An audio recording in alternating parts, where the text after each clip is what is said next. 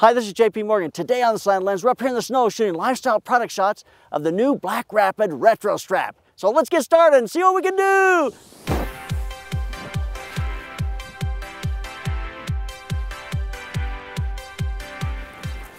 It's gonna be cold, but it's gonna be fun. Hi, this is Jay P. Morgan. Today on the Slanted Lens, we're up here at Tibble Fork? Tibble Fork, Fork and Spoon, Fork Knife and Spoon Reservoir, Tibble Fork Reservoir in Utah. It's not near as cold as Idaho was, but it's certainly beautiful up here. Got a little wind going, so you might hear that in the sound. I apologize for that. But today we're gonna to talk about how to do a lifestyle product shoot.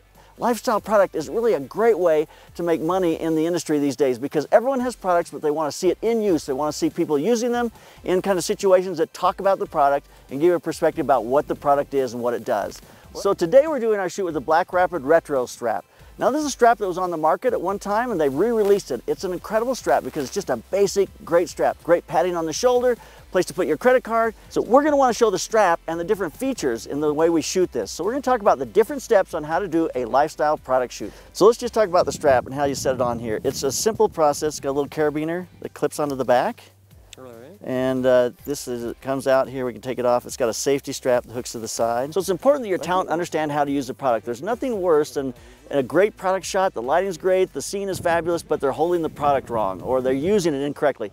Client's gonna see it every time and they're gonna reject all of those. So just make sure that you understand how to use the product. Cameras are easy because I use cameras all the time, but if it's a product that you're not used to, make sure you understand the product, teach your talent so they know how to use it, so when you get out there, the images are gonna be a lot more useful to you. Let them practice a little bit with them. I always tell people we're doing cameras, take pictures you know, so you, you start to get in the routine, you'll start to understand and it'll feel very comfortable to you. It's like a movie script. I want to tell a story, which means I need a great establishing shot. I mean, we've got beautiful mountains here, we're in the snow, we want to see that they're snowshoeing, so I want to do great establishing shots, wider lenses, so I see all the, the scenic stuff around them. But then I'm going to want to punch into the product to see how the product's used, to see what they're doing. I want to get a sense of their relationship together, so I want to get medium shots to see them laughing, talking, kissing, doing all those kinds of things. I mean, do people kiss when they're out taking pictures? I, yeah, I guess these guys do.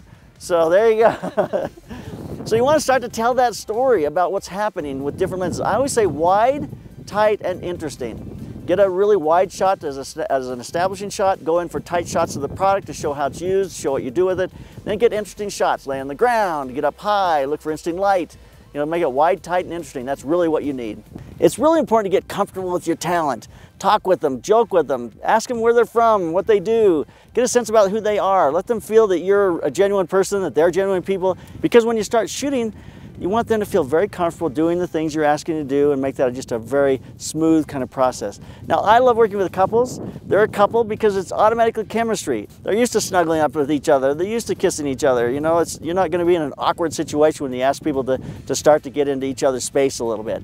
So I love working with couples in that way. It's just a very easy way to make that comfortable and I think the, the shoot's a lot more successful. So my go-to lens when I shoot any kind of product lifestyle thing any kind of lifestyle is a 7200 millimeter lens. And there's a couple of reasons. It's a 2.8 lens, which means I'll go to 2.8 or maybe f4, which is what I've been shooting a lot on it today is f4.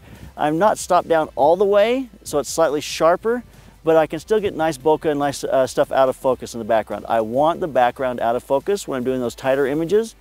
When I go to 70 millimeters, I get a, a little sense, a better sense of the scene. I love the 70 to 200. It's a great walk around shoot lens. I shoot it on uh, burst, high speed burst because I'm hand holding it. And I would take a breath and shoot. And I just want to, as I shoot, have two or three or four of the same shot in case one's slightly out of focus. I'll generally get something in that burst that's going to be in focus. So I'm going to have eight and 10 shots of the same thing, but one of them is going to be in focus because I'm hand holding a 7200 millimeter lens. A uh, monopod is not a bad idea for doing this. Just working on a monopod, uh, something with a foot pedal on it so you can raise it up and down. Not a bad way to work at all. But the 7200 is great. I also carry a 2470 if I want just really great wide shots, and this is a great place to do it in. So scenic, I go to a 2470. So those are my two lenses, but my 7200 is where I usually start.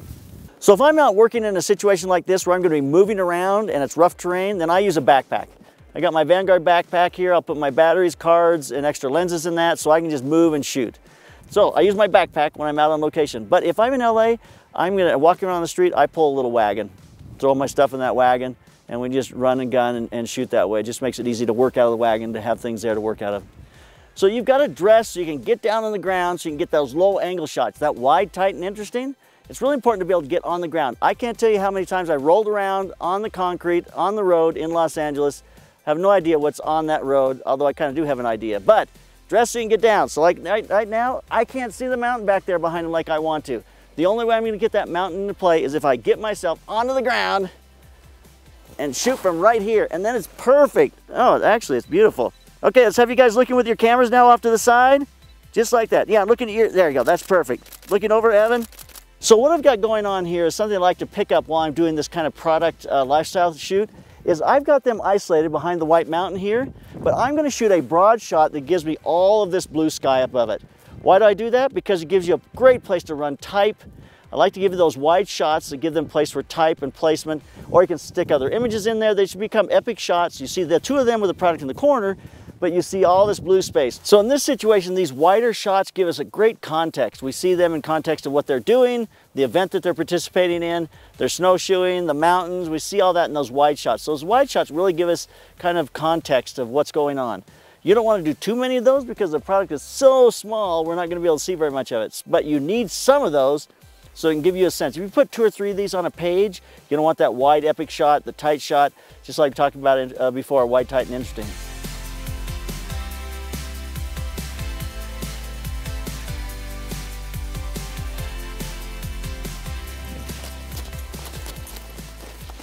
We're done shooting around and we're done, ready to wrap this thing up. We've shot all around the reservoir, up here on the mountain. What I've learned about this process? I've learned that you cannot shoot enough. You gotta shoot those wide, tight, and interesting. You gotta make sure you're very comfortable with your talent. You gotta make sure you get tight shots of the product so you see that product in use, and epic shots and shots with background that you can use for type. All those things are gonna come together. This is a great product here from uh, BlackRapid a strap that just came back out on the market. You're gonna wanna check it out because it's a strap that I think you'll enjoy using. It'll help you do your photography. So keep those cameras rolling and keep on clicking. I knew that was coming. I'm looking back there, I'm trying to do my dialogue, and Jalene's making a snowball. That's what she's doing. She's making a snowball. My camera's getting wet. oh, run on my camera? Oh no. All right, so here we go. Exactly. All right, here we go. One thing, here we go. So keep those cameras rolling, keep on clicking. Were you rolling? it's got a.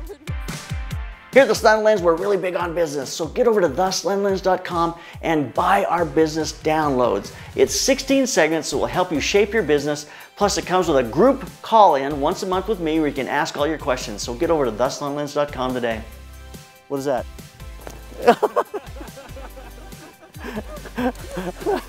All I see is Jalene's hand going like this. I'm going, what, you want me to move over? now I get it. Now I got it. I've learned that you can get too comfortable with your talent